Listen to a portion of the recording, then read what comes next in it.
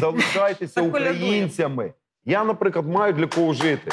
У мене, у мене донечка рочок і 11 місяців. Коли мене минулого тижня запхали в каталажку, вона прийшла з мамою на роботу і сказала, тата забрали.